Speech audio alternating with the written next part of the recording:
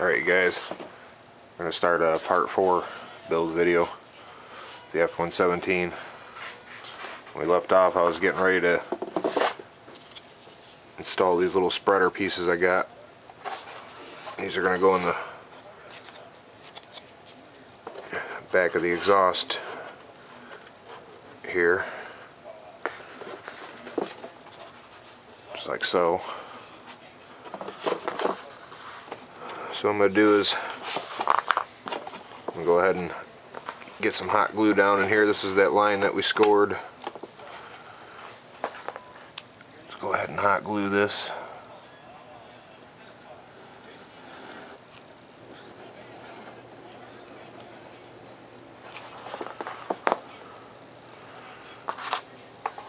Stick these in here just to set it in place where it needs to be.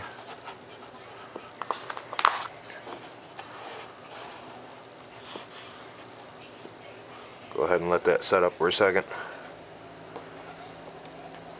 Thinking guys that, you know, I got these carbon fiber rods that I got. I'm not even sure I'm going to need them with this jet. This Elmer's foam board is some pretty durable stuff. And I don't think this jet's going to flex much. But I might go ahead and install them. Not sure yet.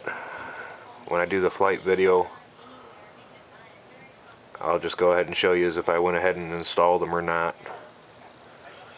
But as it stands right now, I think I can just go ahead and do without them. Alright, we're going to be working on uh, installing our tail fins here. Vertical stabilizer fins.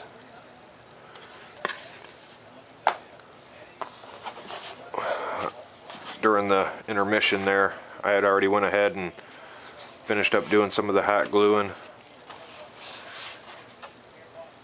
I just did really nice little beads wherever I thought I needed it.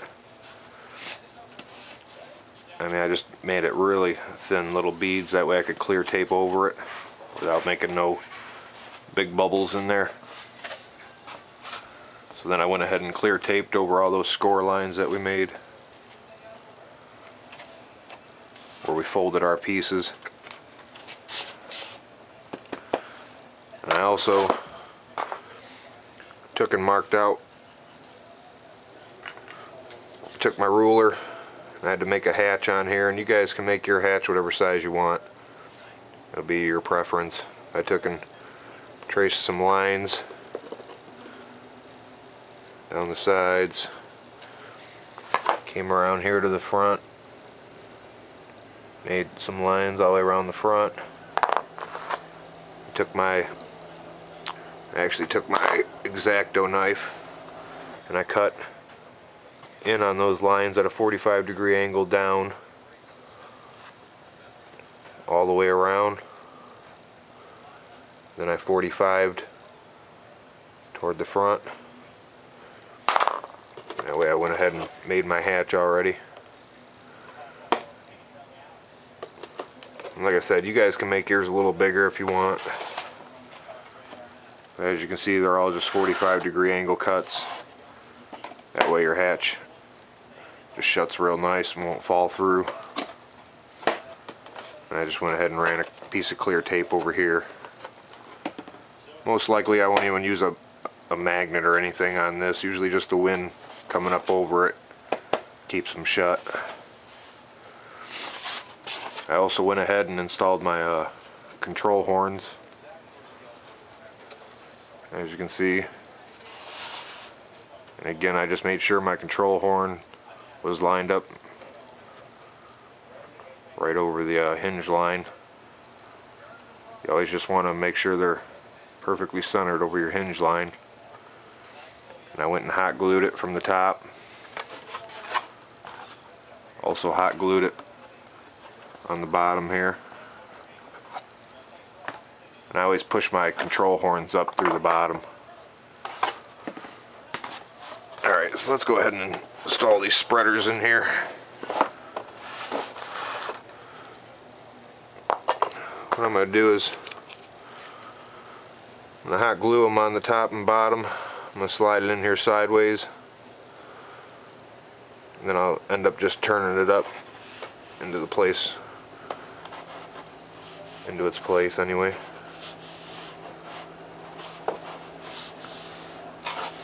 Let's go ahead and do that. I'm just going to eyeball them out. There ain't really no particular spot you got to put these.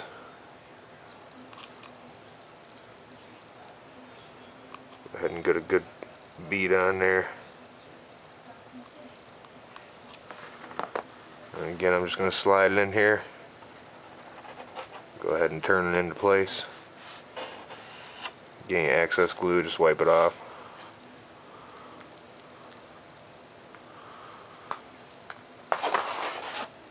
Make sure you get it in there nice and straight.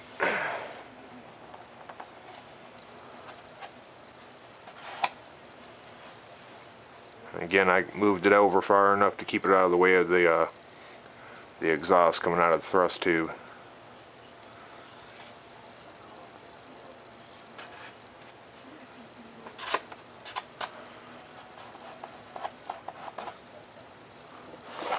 I'll just go ahead and install this other one. What I'm going to do here is, so I can even these out real nice, I'm just going to kind of mark it. Set that one in there where it belongs. Just mark it with a pen so I can put it right in the same spot.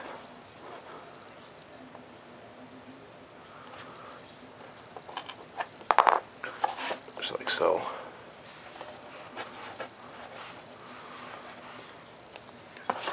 Sometimes a little tricky getting them in there, but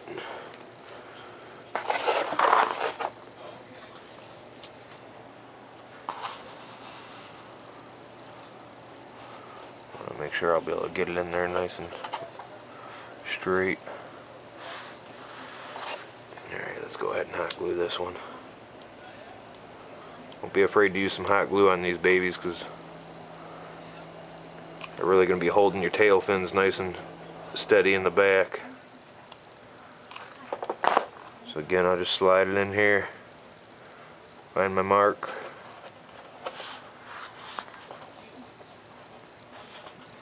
Wipe off any excess.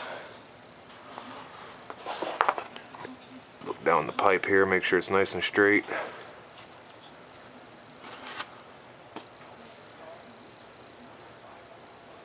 And again, I just call these the exhaust spreaders. And trimmed them down. I'll go ahead on the plans and just mark on there so you ain't got to trim them down. I'll just mark on the plans the right size.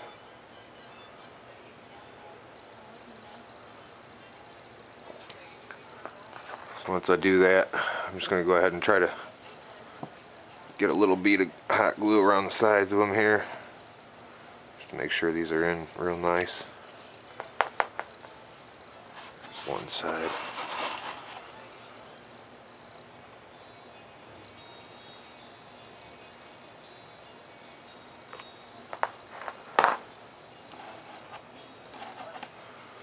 Any excess glue, just go ahead and pull it out of there. Alright, let's go ahead and install these tail fins. Like I said, guys, you guys can just put this clear tape pretty much wherever you glued your pieces on and wherever you had those score lines. And for the front here where I had uh, these score lines, I just used, uh, I just went ahead and CA glued up each one instead of using hot glue. Just went ahead and used the CA glue all the way up them. Then just clear taped it. I just do it this way so I ain't got to cut 45 degree angles out from the back side. I mean, if you guys want, when you get the plans, you guys can cut 45 degree angles from the inside if you want, so you won't see this, but when I clear tape it, it always looks good to me.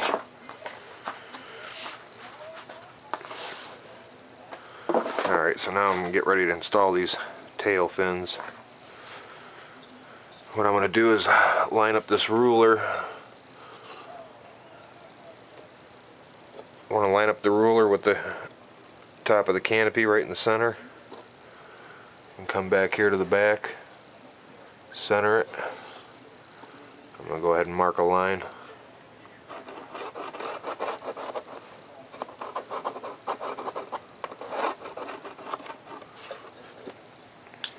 Just like that. So now there's a line there and I'll know right where to put these. And we cut the bottoms of these at 35 degree angles, so they should sit on there pretty pretty much at that angle.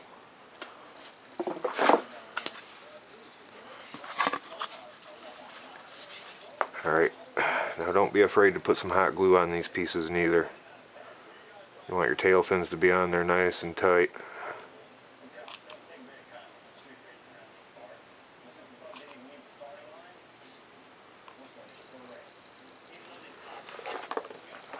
So. Line it up on the back. Push it in its place.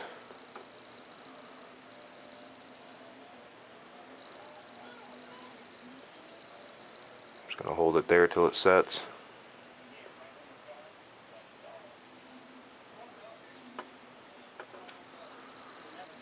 So there's one. Let's knock this other one out.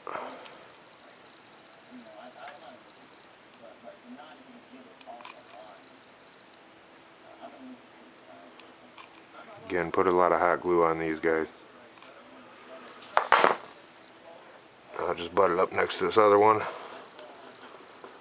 Cedar on there. Make sure you guys get them even.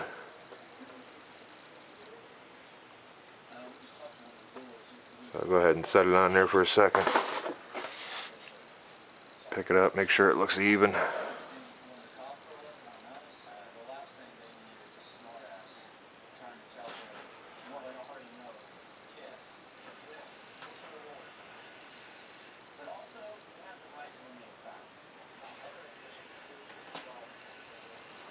Looks pretty good to me.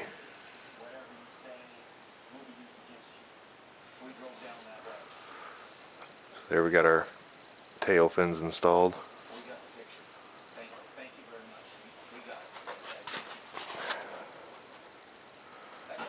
Now I'm gonna go back, run a bead of glue down both sides of the tail fins. You know, I gotta change out this uh, glue stick.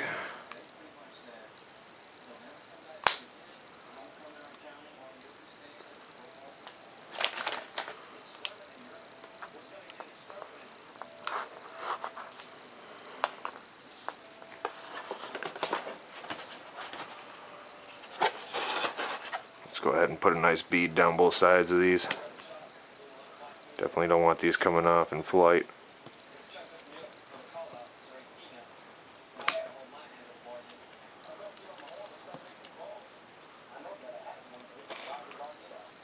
Just like that. Put a nice bead down it. Any of the hot glue and I do, I always make sure to get on both both pieces. So here I got it on the top of the fuselage. I also got it connecting to the tail fin. So it's almost like you did a nice weld. Let's go ahead and hit this other side.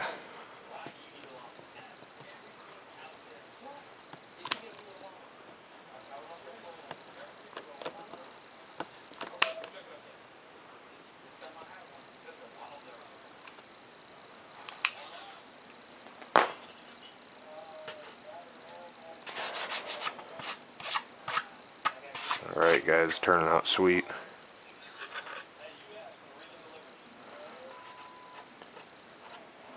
I know you guys probably seen the video I had, the test model I was flying, and it sure is fast. It's a lot of fun to fly.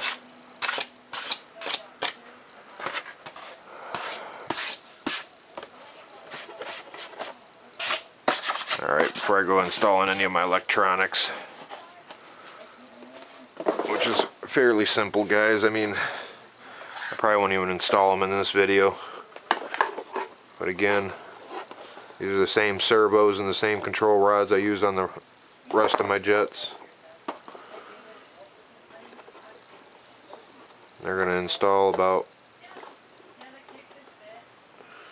just like so. I'll end up cutting some slots in the side of the air intakes to feed my lines through.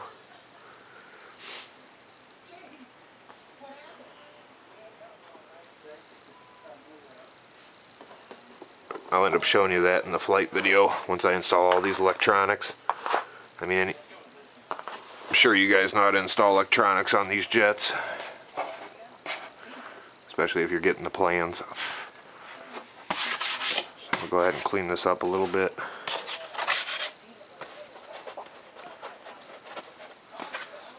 I'm learning too, it don't take much tape to hold these uh, Elevons on. I just went ahead with some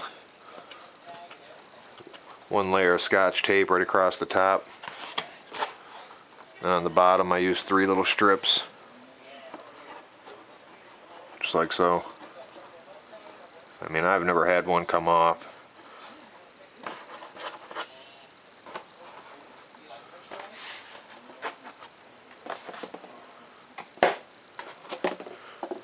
Here you can see I already installed my Velcro down inside here for my my battery.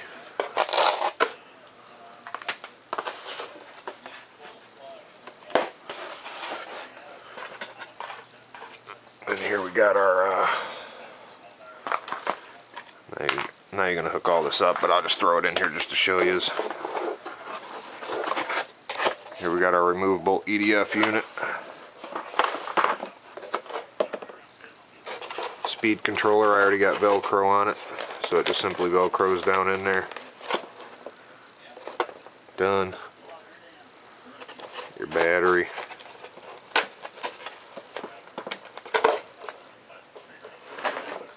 And of course my receiver. Go in here. I'll just put a piece of velcro off to the side over here and put my receiver in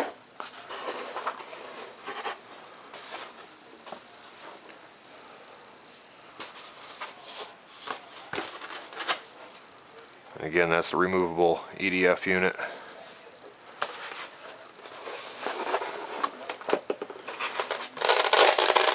Let's go ahead and slap some paint on here. I wanted to show you guys.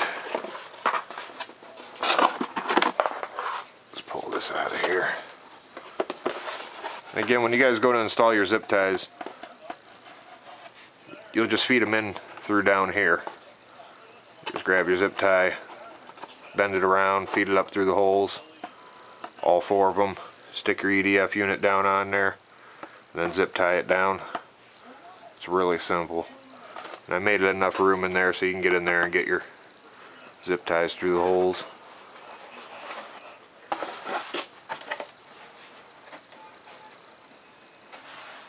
Sure like the way this jet turned out, you guys. Alright, so I'm to go ahead and do a little cleanup here and get ready to shoot a little bit of paint on this for you.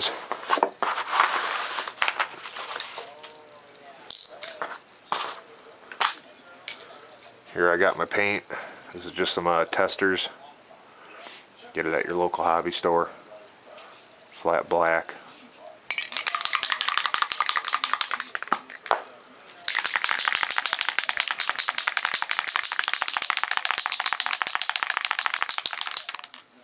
Shake, make sure it's good to go.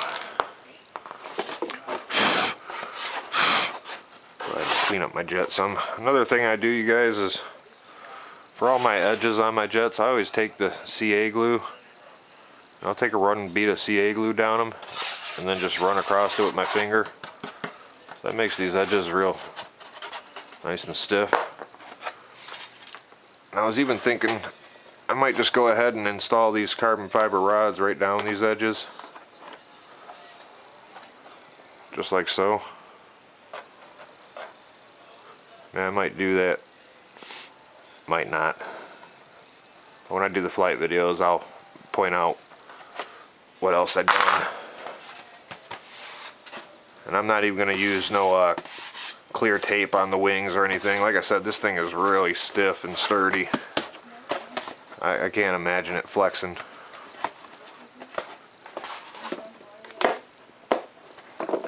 Alright, so I'm just going to do a quick top coat on this.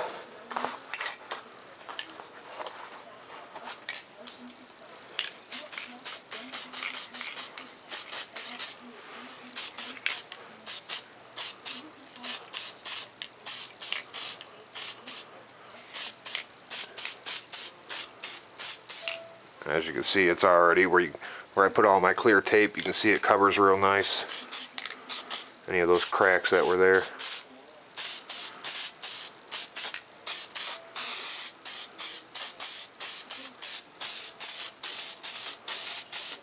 Just gonna do a quick light coat.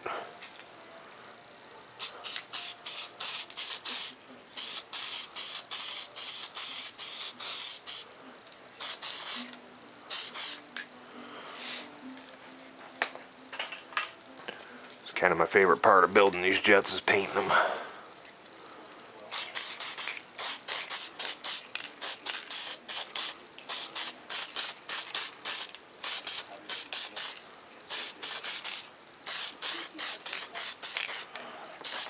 Again, it don't take a lot of paint for these.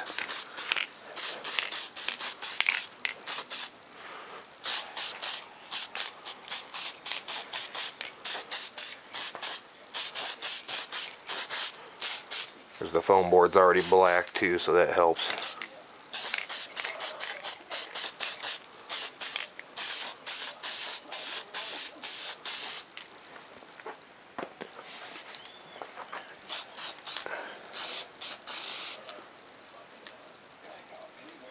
I'm just gonna hurt and shoot a coat on the top here.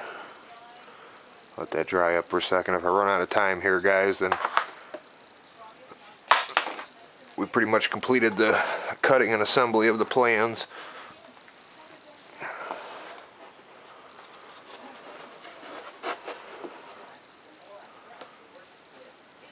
And as this paint dries, you see it turns out really nice. I kind of like the look of the tape on there.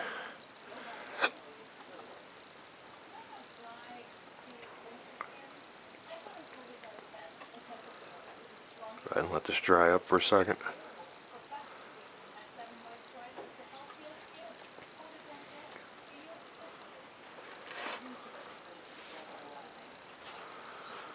So see, you can see where I clear taped over all those score lines. You can't even tell. You guys don't even have to hot glue inside there if you don't want to. You want your tape to lay real nice and smooth, just take and stick some CA foam safe glue down in the cracks. Just cover over it with clear scotch tape.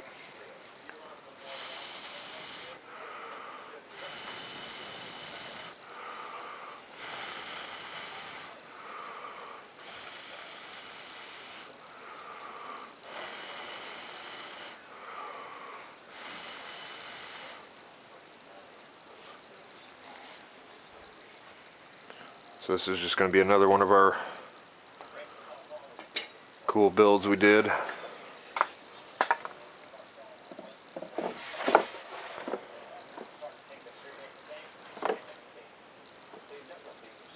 Turned out tight. This is probably this will probably be one of my next builds I do for you guys.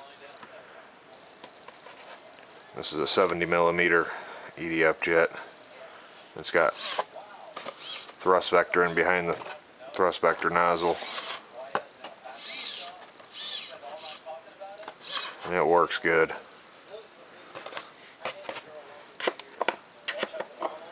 See, there's my speed controller down in there. These canopies, I just pick them up at local ho hobby stores.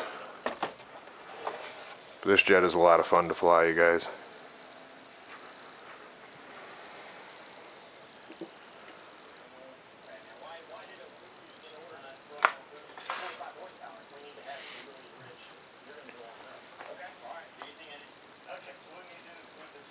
So, alright you guys. Thing turned out sweet.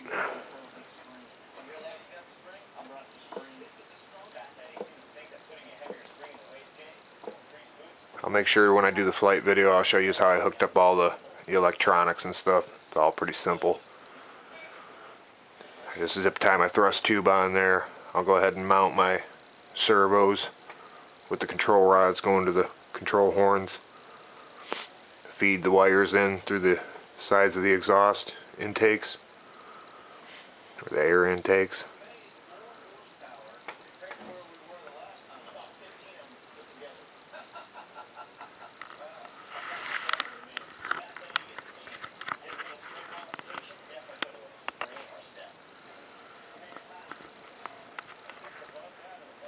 Definitely one cool looking jet. Like the way it turned out.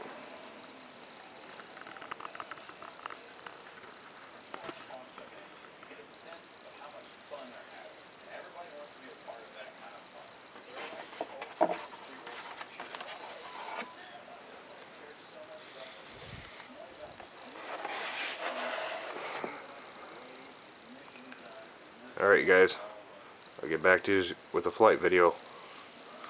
Over and out.